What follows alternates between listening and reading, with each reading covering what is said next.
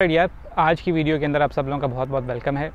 आज की वीडियो में हम बात करेंगे बहुत ही इम्पोर्टेंट टॉपिक है। हम मेंटल हेल्थ के ऊपर बात करेंगे फ़िज़िकल हेल्थ के ऊपर बात करेंगे। Um, और ये सबसे इम्पोर्टेंट टॉपिक इसलिए है कि यूनिवर्सिटीज़ में पढ़ने का क्राइटेरिया एडमिशन का क्राइटेरिया वीज़ा कैसे मिलता है ड्राइविंग लाइसेंस ये वो ये सब चीज़ें ठीक है इम्पोर्टेंट हैं ये भी लेकिन सबसे ज़्यादा इम्पोर्टेंट चीज़ है आपकी हेल्थ अगर आपकी हेल्थ नहीं होगी फ़िज़िकल या मेंटल वो स्टेबल नहीं होगी तो आप ना पढ़ाई में सक्सीड कर सकेंगे, ना आगे जॉब में सक्सीड कर सकेंगे, ना एक नॉर्मल हैप्पी खुश ज़िंदगी जो है ना वो गुजार सकेंगे। तो मैं इसमें पहले तो ये थोड़ा सा इसमें एड्रेस करूँगा कि क्या रीज़न्स हैं, क्यों ये हो जाता है कि जो लोग अब्रॉड मूव करते हैं, वो वेट गेन कर लेते हैं। फिर मेरे पर्सनल एक्सपीरियंसेस कि क्या मेरे साथ ऐसा हुआ या नहीं। और थर्ड नंबर पे ये बात करूँगा कि मैं आपकी इसमें कैसे हेल्प कर सकता हूँ या मैं अपनी क्या सजेशंस आप लोगों के साथ शेयर कर सकता हूँ? तो देखें यार, होता यूँ है यूजुअली कि जब भी आप मूव करते हैं अब्रॉड या इस केस में हम जर्मनी की एग्ज़ाम्पल लेते हैं तो एक बहुत बड़ा जो है ना वो चेंज आता है। आपके लाइफ में, पूरे इन्वायरमेंट के अंदर आपकी ईटिंग हैबिट्स के अंदर स्पेशली जब आप जर्मनी आते हैं तो आप जो है वो शुरू में आपका जो ईटिंग पैटर्न है वो डिफरेंट होता है, उसको चेंज होते होते थोड़ा टाइम लगता है। आप जब जो ग्रोसरी का इवन आपका पैटर्न है, थोड़ा टाइम लगता है आपको, उससे यूज़ टू होते होते अपनी पसंद की चीज़ें जो आपकी बॉडी को के साथ सूट करती हैं एडजस्ट करती हैं।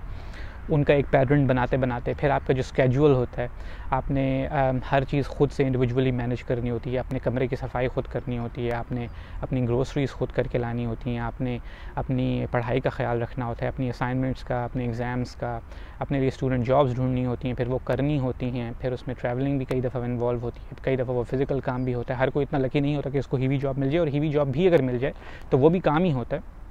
उसमें अगर फ़िज़िकल आपकी एग्जर्शन ना हो तो मेंटल एग्जर्शन होती है।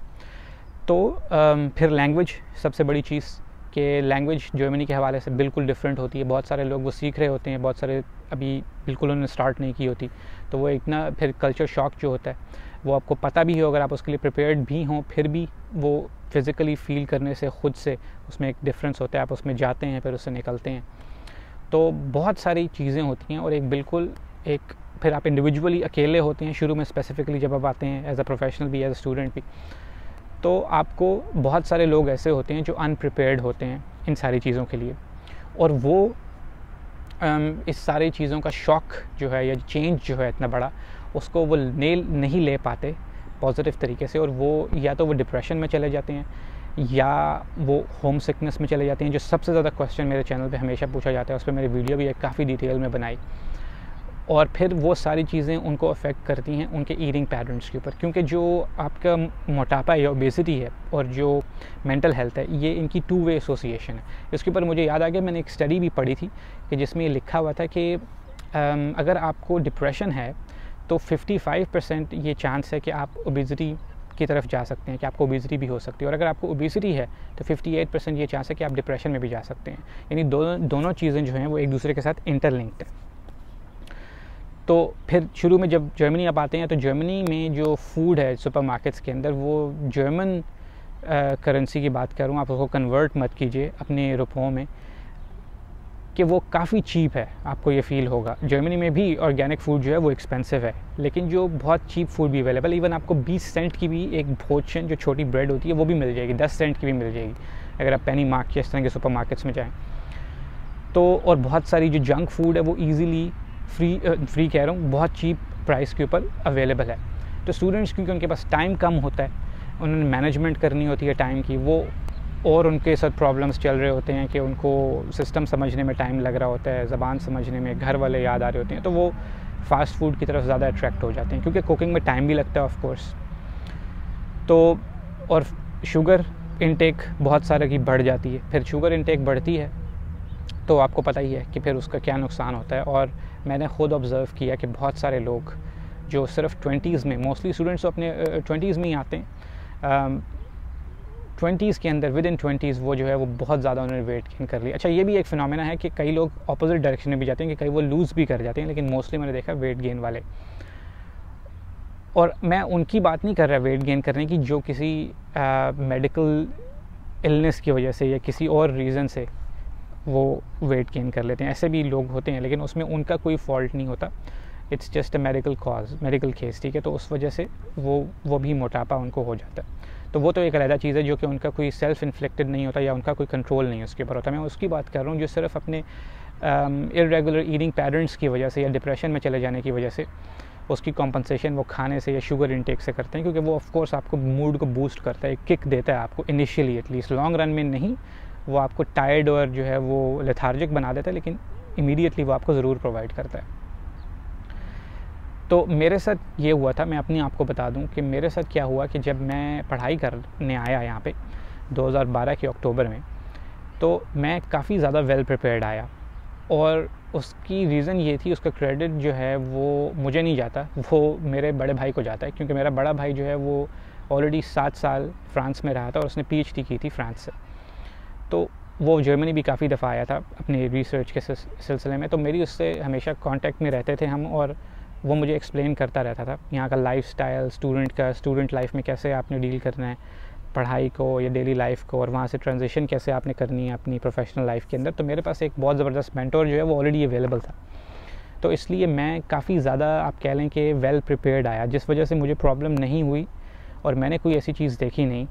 कि मैंने वीडियो में शेयर भी किया था कि मैंने अपनी जो स्टडीज़ हैं, वो भी दो साल की बजाय वो एक साल में, दस महीने में इनफैक्ट ख़त्म कर ली थी। और उसके बाद मैंने फुल टाइम अपनी जॉब स्टार्ट कर दी थी। मुझे सिर्फ़ एक बीच में एक पैच आया था, वो मैं आपके साथ ज़रूर शेयर करना चाहता हूँ कि जब मैं अपनी पढ़ाई ख़त्म कर ली थी और मुझे एक महीना फ्री मिला था समर ब्रेक का, उसमें मैंने ये डिसाइड किया था कि मैं स्टूडेंट जॉब करना चाहता हूँ, कुछ पैसे बनाने के लिए। तो मैं साउथ ऑफ़ जर्मनी में गया था स्टूडेंट जॉब्स करने, और वो सारी जो जॉब्स अवेलेबल थी, वो सिर्फ़ फ़िज़िकल जॉब्स अवेलेबल थी। उसमें मैंने मुख्तलिफ़ स्टूडेंट जॉब्स की थी कोई पैकिंग की, किसी कोई वेयर हाउस में, किसी फैक्ट्री में, बहुत सारे स्टूडेंट्स ये करते हैं। कभी इसके ऊपर बहुत डिटेल वीडियो भी बनाया था कि वो एग्जैक्ट क्या जॉब्स थी। तो उसमें मेरी रूटीन ऐसे होती थी कि मैं आठ नौ घंटे की शिफ्ट होती थी, एक घंटे की ट्रैवल जाने का, एक घंटा ट्रैवल वापस आने का, और बारह तेरह घंटे दिन के ऐसे लग जाते थे, और वो फ़िज़िकल दबा के एक्सर्शन होती थी। तो उसके बाद जब मैं आता था तो कभी पिज़्ज़ा खा लिया कोक पी ली, ये वो वो एक महीना मेरा बड़ा अनहेल्दी था इस लिहाज से और मैंने उसमें गेन नहीं किया। मैंने उसमें वेट जो मेरा यूजुअल होता है, जो मेरा आइडियल बी एम आया उससे मैंने लूज़ किया। और ये शुक्र ही है क्योंकि कि गेन नहीं किया, क्योंकि मुझे गेन पसंद नहीं है। लूज़ अगर हो जाए, वो मुझे एक्सेप्टेबल है।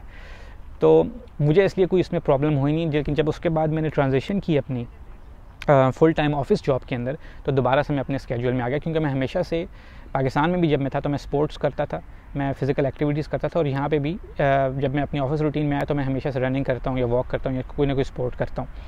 तो ये बहुत ज़रूरी है, क्योंकि अब मैं उससे पहले कि मैं आपको अपनी सजेशंस दूँ, ये बताने के लिए इसलिए आपको कह रहा हूँ कि आप लोग अगर मेंटली स्टेबल नहीं होंगे फिज़िकली हेल्दी नहीं होंगे तो आप अपनी पढ़ाई भी नहीं कर पाएँगे, ठीक है? आप आगे जॉब भी नहीं कर पाएँगे, आप इन्जॉय भी नहीं कर सकेंगे यहाँ पे, जो आप लाइफ इन्जॉय करने के लिए आ रहे हैं या हाई क्वालिटी की लाइफ के लिए आप बेसिकली जर्मनी आ रहे हैं। तो आप उसमें बेसिकली बिल्कुल कुछ भी नहीं कर सकेंगे उस हिसाब से। तो इसलिए इसको फ़र्स्ट प्रायोरिटी में अपनी रखें क्योंकि आप इवेंचुअली तो आपका गोल यही है ना कि यहाँ पे पढ़ाई करके जॉब करके आगे सेटल हो जाएँ अपनी लाइफ के अंदर एक सेल्फ इंडिपेंडेंट बन जाए फाइनेंशियल इंडिपेंडेंस आपके पास आ जाए। तो उस चीज़ के लिए मेंटल uh, हेल्थ आपकी और फ़िज़िकल हेल्थ ये बहुत ज़रूरी है। देखिए, उसमें मैं आपकी हेल्प कैसे कर सकता हूँ? मैं सिर्फ़ ये सजेशन शेयर कर सकता हूँ कि अगर आप जर्मनी आने से पहले या अब्रॉड कहीं भी मूव कर रहे हैं, जो कि आपकी इन्वायरमेंट से हमारी साउथ एशिया की इन्वायरमेंट से बहुत डिफरेंट है तो आप उससे पहले अपने आप को प्रिपेयर करना शुरू कर दें। जैसे महीना, दो महीना पहले आप ख़ुद से कुकिंग करना शुरू कर दें अपने घर में, ठीक है? आप अपने कमरे की सफ़ाई खुद करना शुरू कर दें। आप ग्रोसरीज़ में हमेशा देखता हूँ यूट्यूब पे लोग एक चीज़ की कंप्लेंट कर रहे होते हैं कि यार यहाँ हमें अपनी ग्रोसरीज़ खुद उठानी पड़ती हैं। क्या यार, कुछ भी नहीं होता। ग्रोसरीज़ आप अपनी खुद करना शुरू कर दें। यहाँ पे आपको वो करना होगा। उसके बाद आप जो है वो अपना हर वो काम जो आपको लगता है कि उस पर आप किसी पे डिपेंडेंट हैं किसी ऑफ़िस में जाके वहाँ पे किसी एडमिनिस्ट्रेशन का काम करना। आ, आ, उसके अलावा अपनी आपने स्टडी स्केड्यूल्स बनाने हैं असाइनमेंट्स बनानी है जर्मन लैंग्वेज सीखनी है सबसे बड़ी चीज़ कि वो आपको make make home feel home करवाएगी एक फीलिंग देगी कि आप जो है वो घर से बहुत दूर नहीं है बहुत मुख्तलिफ़ इन्वायरमेंट में नहीं है, क्योंकि लैंग्वेज जब आपको समझ आएगी तो आपको लगेगा कि यार ये इतना फ़र्क नहीं है। हाँ चीज़ें मुख्तलिफ़ हैं, लेकिन मुझे सब समझ आ रही है कि चल क्या रहा है। ये आप कर सकते हैं। उसके अलावा ये कि आप अपने आप को फेमिलियर करवा सकते हैं, जिस शहर में आप जा रहे हैं, जिस यूनिवर्सिटी में जा रहे हैं, जिस कोर्स में जा रहे हैं, उन सब्जेक्ट के साथ जिन प्रोफेसर्स के पास पढ़ने जा रहे हैं, जिन कंपनीज़ में इंटर्नशिप करना चाहते हैं, जो कोर्सेज़ ले रहे हैं, उनमें जो जो जॉब्स आगे निकलती हैं, उसके साथ उनकी जॉब डिस्क्रिप्शन देख के कि उसमें क्या रिक्वायर्ड है, वो चीज़ें पढ़ के। तो ओवरऑल अपने आप को मेंटली फिज़िकली दोनों हिसाब से अगर आप पूरी तरह प्रिपेयर करें लैंग्वेज के साथ, और तब आप अगर आएँ मूव करें तो मैं आपको बताऊँ कि आपको ये ट्रांजिशन जो है, ये फील भी नहीं होगी कोई। ये आप इसको इन्जॉय करेंगे। ये मैंने उस वीडियो में भी कहा था कि please stop saying student life is tough in Germany वो इसीलिए कि वो टफ़ नहीं है, अगर आप वेल प्रिपेयर्ड हों तो। तब आप एक एक चीज़ को जो स्टडी का टाइम है, जो जॉब का टाइम है, जो इंटर्नशिप का इवन स्टूडेंट जॉब्स का जो टाइम है, आप उसको मज़े लेके करेंगे और आप इन्जॉय करेंगे उसको। आप कहेंगे, यार, ये मैंने सही मज़े का जो है यूनिवर्सिटी टाइम गुजारा है। अब मैंने सही जॉब्स का टाइम गुजारा है। अब मैं जो हूँ वो फाइनेंशियली इंडिपेंडेंट हूँ। उस टाइम को बड़ी अच्छी तरह रिकॉल कर रहा हूँ। मेरे साथ ये फीलिंग्स है। इसलिए मैं आपको जेनवनली अपना ऑनेस्ट ओपिनियन शेयर कर रहा हूँ। तो ये एडवाइस सजेशंस मैं आप लोगों के साथ शेयर कर सकता हूँ। और अगर आप लोगों के कोई इस टॉपिक से रिलेटेड कोई और क्वेश्चंस हैं तो आप ज़रूर कमेंट्स में लिखें। हम उनके ऊपर जो है वो बात करेंगे, क्योंकि ये टॉपिक बहुत ही ज़्यादा इंपॉर्टेंट है। मैं ख़ुद ये इस पर दोबारा एम्फोसाइज़ करता हूँ कि जो ओबिसिटी का टॉपिक है और जो डिप्रेशन का टॉपिक है, इसके ऊपर मैं और वीडियोस भी करूँगा।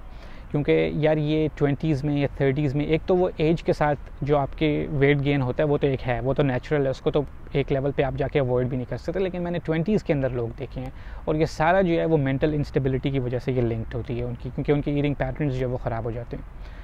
तो आप लोगों के कोई क्वेश्चन हैं इस हवाले से तो आप ज़रूर लिखें। उसके अलावा जो मेरी कमेंट्री की वीडियोस हैं उसके ऊपर आप लोगों ने काफ़ी अच्छा रिस्पांस दिया। एक सेकेंड जब भी मैं बाहर वीडियो शूट करता हूँ तो ये एक एंबुलेंस की साउंड आ जाती है। नाइन वन वन की है।